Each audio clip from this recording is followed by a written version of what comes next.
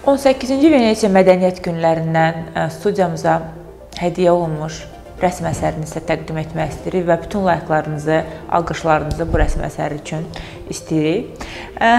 Zarafat bir qırağa. Son zamanlar rəsm əsərlərinə çox böyük marağım var və düşünürəm ki, birazdan kosmetika alıb evi doldurmaq əvəzinə rəsm əsərləri ilə dolduracağam. Bugünkü mövzumuz çox maraqlı olacaq. Bəzi xanımlar kim ki, büdcə azlığından şikayətlənir, bir neçə vasitə almaq istəmirlər makiyaj vasitələrini, lakin onun əvəzinə alternativ başqa bir yollara əl atmaq istəyirlərsə, kiçik bir makiyaj hilələrindən, sirlərindən sizə danışacağam. Ümid edirəm ki, köməklik etmiş olacağam. Başlayaq bu mövzunu müzakirə etməyə. Əvvəlcə qaşları sabitləmək üçün məhsullardan bəhs etmək istəyirəm. Bilirsiniz ki, artıq kosmetika bazarında bir neçə məhsullar var ki, hansı ki, bunlar qaşları makiyaj zamanı sabitləmək üçün istifadə olunur. Elə xanımlar var ki, onların qaşları çox coddur və düzgün dayanmır. Elə xanımlar da var ki, qaşlarını rənglədikdən sonra onları darayırlar və fiksatorlarla sabitləyirlər qaşlarını və bunlara mənə elə gəlir ki, artıq pul verməyə də bilərsiniz. Alternativ olaraq saç laklarından istifadə edə bilərsiniz və bu cür qaş darayan vasitələrdən nə edirik?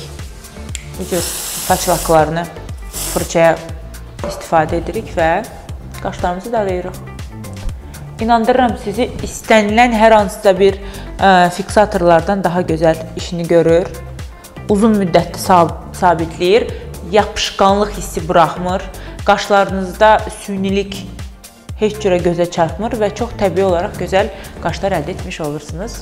Ən çox şikayət etdiyi məsələlərdən biri də tonal kremlər dərisində yaxşı oturmur, çox quru qalır. Ola bilər ki, hansısa tonal kremi bəyənəsiniz, alasınız, istifadə edəsiniz, lakin sonradan dəriniz quruya bilər. Bu tonal kremi çox sevirsiniz, amma dərinizdə e, çox e, gec hopur, çox pis yayılır. Onun üçün nə edirik? Xüsusi bazalar almağa ehtiyac olmur. Nəmləndirici kremlər tonal kremi qarışdırırıq, bir yerdə tətbiq edirik, istifadə edirik. O zaman tonal krem e, rəngini itirmədən, açılmadan rəngini çox gözəl dərinizdə yayılacaq. Mənə elə gəlir quru dərili xanımlar bu cür hiylələrə tez-tez əl ata bilərlər. Üçüncü hiylələrdən biri də parıltını, nəm makiyajı sevən xanımlar üçündür. Bilirsiniz ki, bu cür tonal kremlər tapmaq çətin olur və yaxud sizin əgər bir sevimli tonal kreminiz varsa, ikinci dəfə yaş parlaq makiyaj üçün digər tonal kremi almaq istəmirsiniz, onda nə edirik? Krem highlighterla tonal kremi qarışdırırıq. Bu biraz tonal kremin rəngini aça bilər. Ona görə də nə edirik? Highlighterdan çox az istifadə edirik, tonal kremindən çox və ikisini qarışdıraraq çox gözəl parıltılı makiyaj əldə etmiş oluruq. Qeyd edim ki, məsaməli dərilər, yağlı dərilər bu cür tətbiqdən uzaq olsunlar, amma quru dərilər üçün nə makiyajı, parıltını sevən xanımlar üçün bu çox əla bir makiyaj sirlərindən biridir.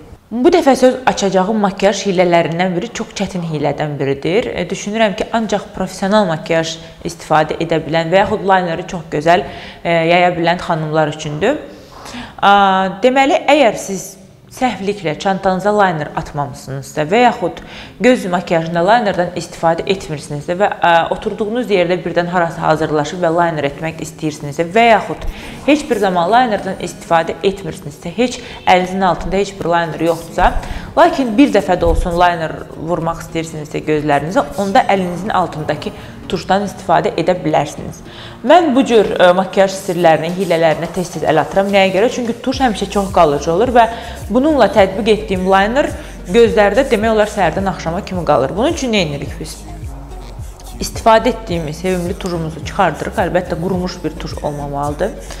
Və e, liner fırçası ilə tuşdan biraz götürüb e, liner çəkirik və bu cür tətbiq etmiş oluruq gözlərimizə.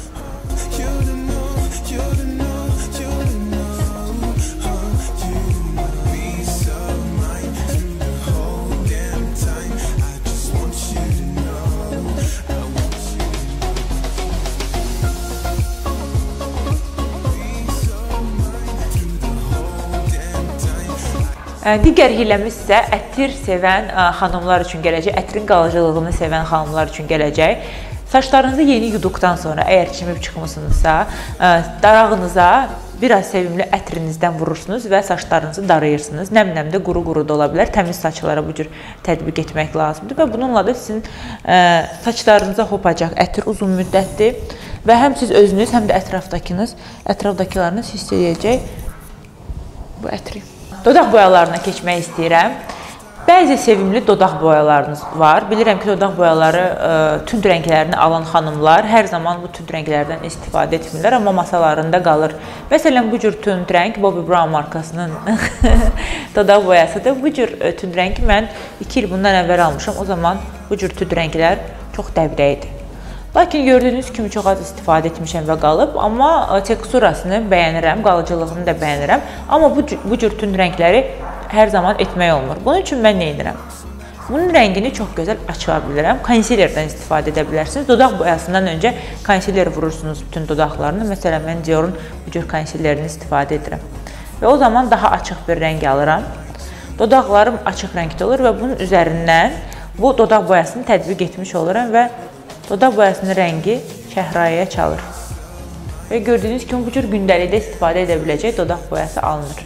Və sonuncu hiləm haqqında danışmaq istəyirəm. Bu normal bir e, göz kölgəsi paleti olacaq. Əgər sizin sevimli bir göz kölgəsi paleti varsa və içində ə, e, qəhvəyi rəngdə bir göz kölgəsi varsa, siz onu çox saylı məqsədlər üçün istifadə edə bilərsiniz. Onlardan biri e, konturlamaq üçün, üz dərisini konturlamaq üçün istifadə oluna bilər, çox rahat.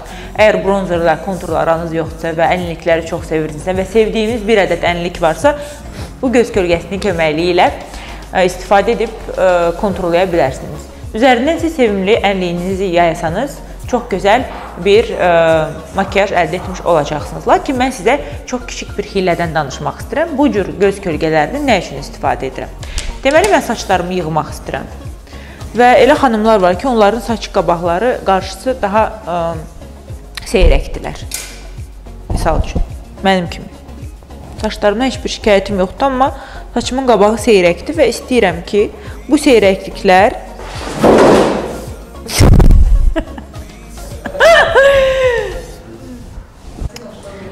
Deməli saçımı yığıram və burada bəzi boşluqlar var. Əsasən də şəkil və videolar üçün istifadə edirəm. Nə edirəm?